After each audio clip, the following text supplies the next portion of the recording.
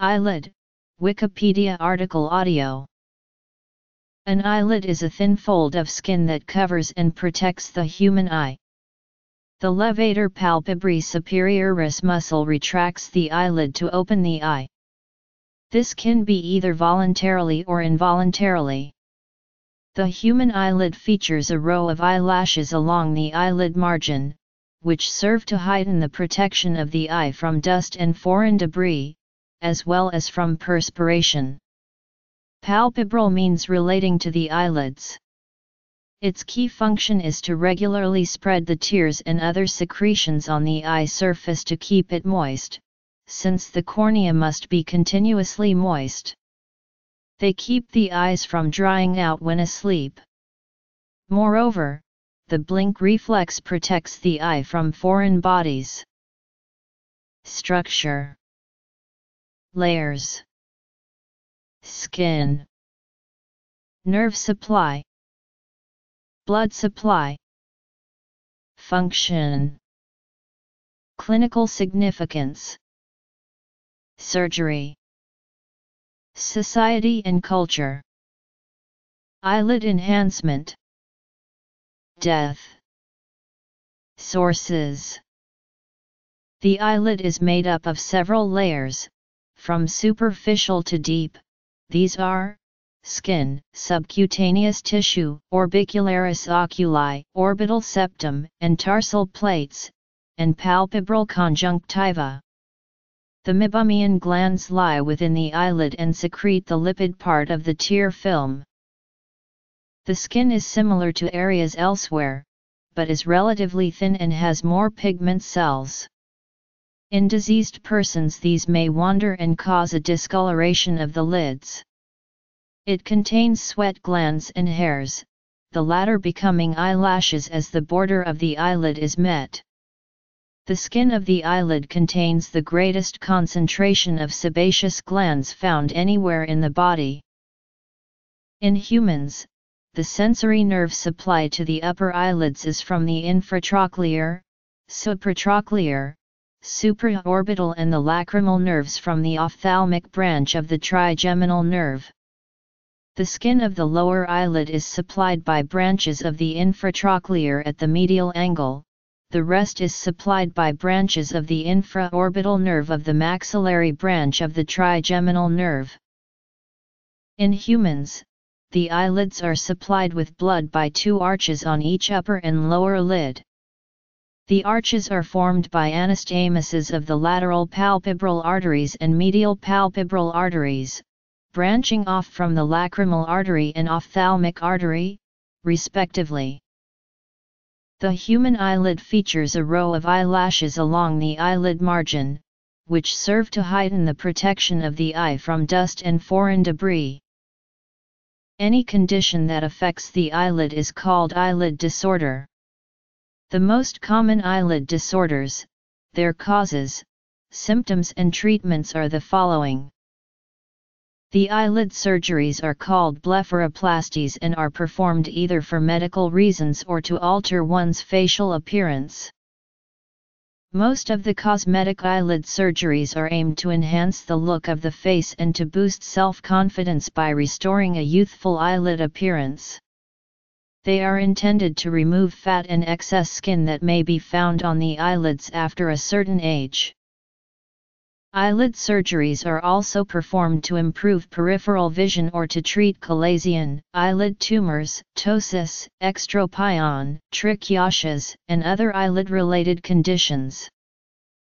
Eyelid surgeries are overall safe procedures but they carry certain risks since the area on which the operation is performed is so close to the eye.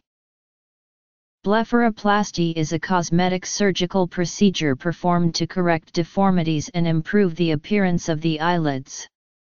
With 1.43 million people undergoing the procedure in 2014, Blepharoplasty is the second most popular cosmetic procedure in the world, and the most frequently performed cosmetic surgical procedure in the world. The procedure is particularly popular in East Asia, where it has been reported to be the most common aesthetic procedure in Taiwan and South Korea. though the procedure is also used to reinforce muscle and tendon tissues surrounding the eye. The operative goal of East Asian blepharoplasty is to remove the adipose and linear tissues underneath and surrounding the eyelids in order to crease the upper eyelid. The use of double-sided tape to create the illusion of creased, or double eyelids has become a prominent practice in China and other Asian countries.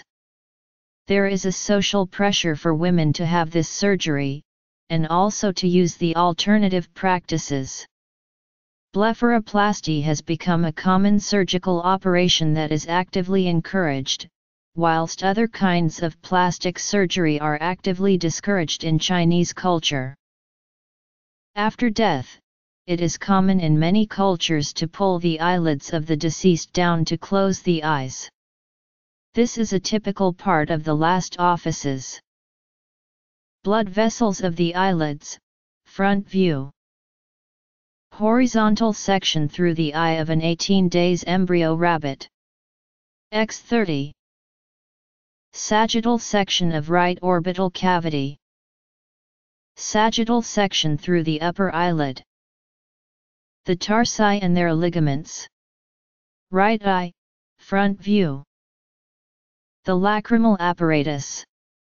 Right side. Extrinsic eye muscle. Nerves of orbita. Deep dissection.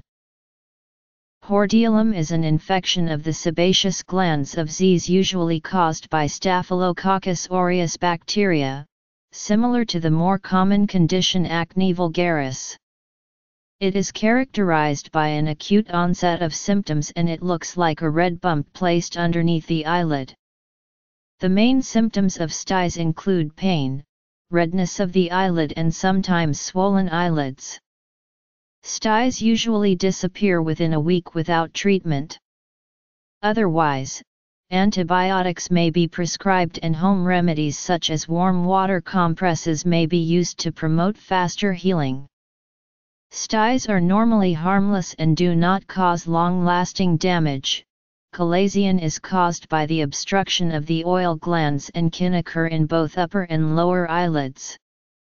Chalazia may be mistaken for styes due to the similar symptoms. This condition is however less painful and it tends to be chronic. Chalazia heal within a few months if treatment is administered and otherwise they can resorb within two years. Chalazia that do not respond to topical medication are usually treated with surgery as a last resort. Blepharitis is the irritation of the lid margin, where eyelashes join the eyelid. This is a common condition that causes inflammation of the eyelids and which is quite difficult to manage because it tends to recur. This condition is mainly caused by staphylococcus infection and scalp dandruff. Blepharitis symptoms include burning sensation, the feeling that there is something in the eye, excessive tearing, blurred vision, redness of the eye, light sensitivity, red and swollen eyelids, dry eye, and sometimes crusting of the eyelashes on awakening. Treatment normally consists in maintaining a good hygiene of the eye and holding warm compresses on the affected eyelid to remove the crusts. Gently scrubbing the eyelid with the warm compress is recommended as it eases the healing process. In more serious cases, antibiotics may be prescribed, Demodex mites are a genus of tiny mites that live as commensals in and around the hair follicles of numerous mammals including humans, cats, and dogs. Human Demodex mites typically live in the follicles of the eyebrows and eyelashes.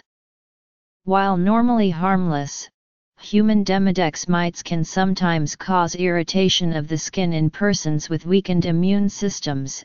Entropion usually results from aging, but sometimes can be due to a congenital defect, a spastic eyelid muscle, or a scar on the inside of the lid that could be from surgery, injury, or disease.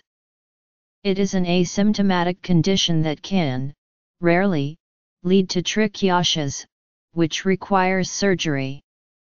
It mostly affects the lower lid, and is characterized by the turning inward of the lid, toward the globe. Ectropion is another aging-related eyelid condition that may lead to chronic eye irritation and scarring. It may also be the result of allergies and its main symptoms are pain, excessive tearing and hardening of the eyelid conjunctiva. Laxity is also another aging-related eyelid condition that can lead to dryness and irritation. Surgery may be necessary to repair the eyelid to its natural position. In certain instances, excessive lower lid laxity creates the fornix of rice, a pocket between the lower eyelid and globe, which is the ideal location to administer topical ophthalmic medications. Eyelid edema is a condition in which the eyelids are swollen and tissues contain excess fluid. It may affect eye function when it increases the intraocular pressure. Eyelid edema is caused by allergy, trichiasis, or infections. The main symptoms are swollen red eyelids, pain, and itching. Chronic eyelid edema can lead to blepharochalasis. Eyelid tumors may also occur. Basal cell carcinomas are the most frequently encountered kind of cancer affecting the eyelid, making up 85% to 95% of all malignant eyelid tumors. The tumors may be benign or malignant. Usually benign tumors are localized and removed before becoming a cancerous threat and before they become large enough to impair vision. Malignant tumors on the other hand tend to spread to surrounding areas and tissues. Blepharospasm is an involuntary spasm of the eyelid muscle. The most common factors that make the muscle in the eyelid twitch are fatigue, stress, and caffeine. Eyelid twitching is not considered a harmful condition and therefore there is no treatment available. Patients are however advised to get more sleep and drink less caffeine. Eyelid dermatitis is the inflammation of the eyelid skin. It is mostly a result of allergies or contact dermatitis of the eyelid. Symptoms include dry and flaky skin on the eyelids and swollen eyelids. The affected eyelid may itch. Treatment consists in proper eye hygiene and avoiding the allergens that trigger the condition. In rare cases, topical creams may be used but only under a doctor's supervision. Ptosis is when the upper eyelid droops or sags due to weakness or paralysis of the levator muscle, or due to damage to nerves controlling the muscle.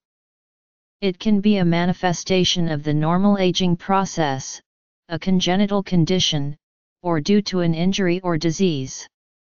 Risk factors related to ptosis include diabetes, stroke, Horner syndrome, Bell's palsy, myasthenia gravis, brain tumor, or other cancers that can affect nerve or muscle function.